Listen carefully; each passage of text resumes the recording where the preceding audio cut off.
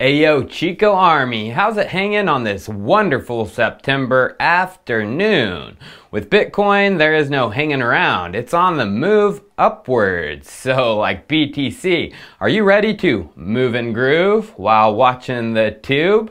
Well, you don't really have a choice because it's time for Chico Crypto.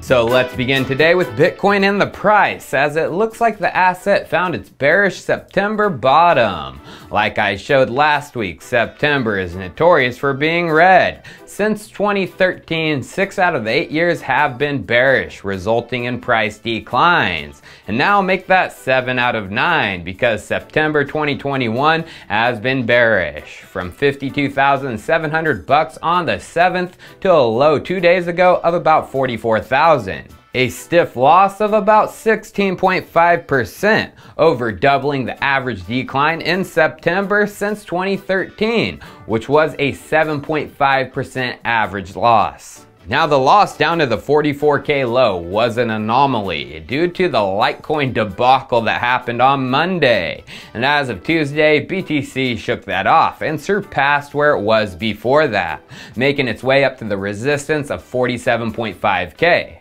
Now there may be some turbulence around here or BTC will pass right through it. Either of those scenarios scream to me altcoins are going to turn really bullish which was already starting to happen yesterday with 25% gains, 20% gains, many 10%, and many of these DeFi based protocols. Out of the top 100, 42 coins had bigger gains than Bitcoin's 5.3% over 24 hours. So, who are some of my altcoin picks ready to make big moves? Those ready to suck in liquidity and get that pampity pump. Pump it up a little get the party going on the dance floor. Well, let's dive right in. And this one is one I already covered in a live stream over the weekend, which made it move. And as of yesterday, it was moving again. That is GMX. So let's just hear what I had to say over the live stream about GMX when it was only around $6 per coin. But this is the more undervalued, lower market cap, big one. And that is what Perpetual is. So Perpetual is a decentralized, you know, leverage platform where you can trade leverage and all that in a decentralized manner. Perpetual contracts. There it is, GMX, dude. Oh yeah, this is gonna be massive. Decentralized perpetual exchange on Arbitrum. This is big, this is undervalued. It is a decentralized perpetual options exchange built on Arbitrum, a blossoming second layer of Ethereum, which is truly secured by the Ethereum mainnet and layer one. And Arbitrum TVL is going bonkers lately, exploding to over 2.2 billion as of yesterday, an over 2,411% increase in just seven days. Now that Nyan Kitty Cat has a bulk of that, but GMX is also helping a good portion of it. They put out their update number one yesterday, and as we can see since September 1st, only two weeks ago, over 150 million has been traded through their DEX, which means over $300,000 in fees in just two weeks.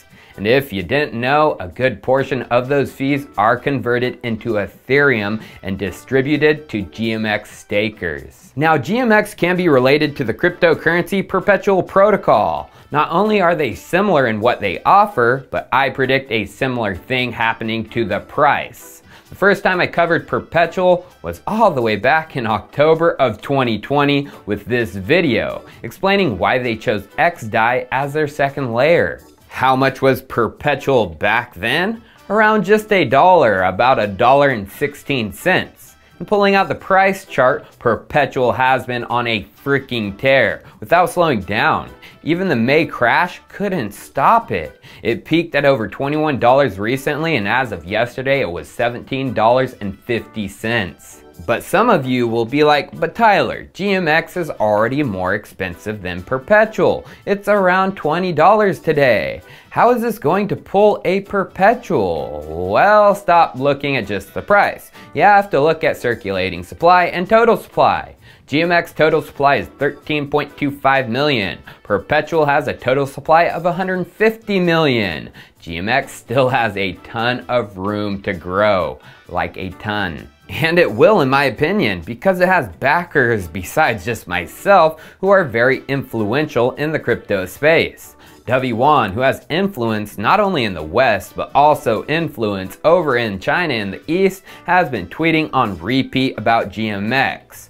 I showed this in the live stream, but over the weekend she tweeted she was lucky enough to get to know the main dev of GMX, but also said GMX slash Gambit organic accumulative trading volume has quietly surpassed 1.2 billion since April without engaging in any MM or crazy transaction fee mining programs. True people's derived DEX just based. And then yesterday she tweeted, GMX plus L2 equals King's Gambit.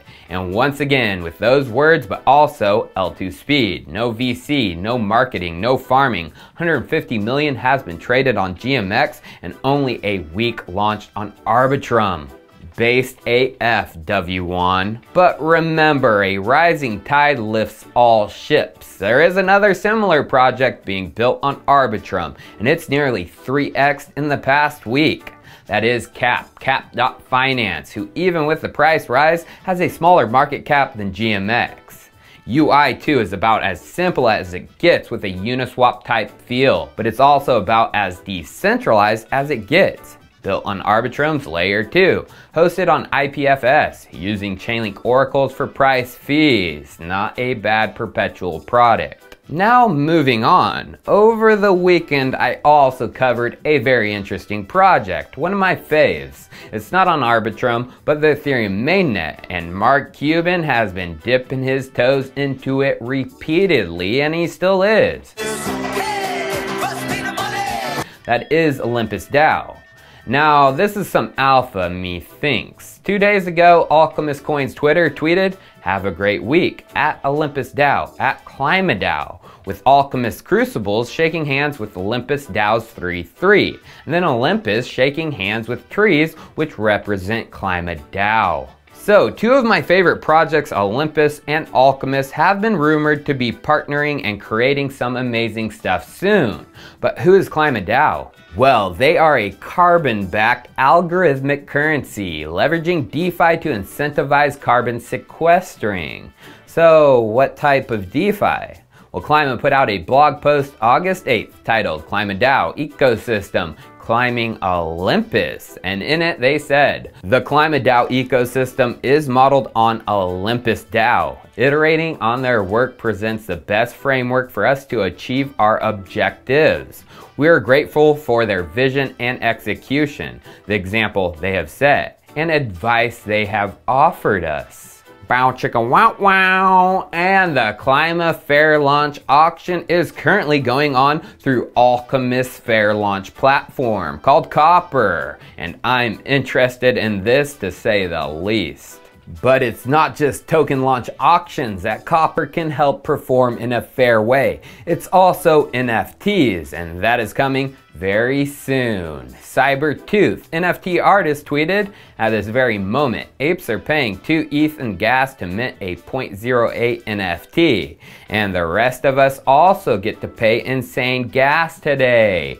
Yay! At the upcoming Book of Alchemy NFT drop, we will show you a better way. Three days at Copper launch. Two days now, and the better way is it's an NFT fair launch. And here are the details and benefits. 40 animated NFTs, each with music attached to them.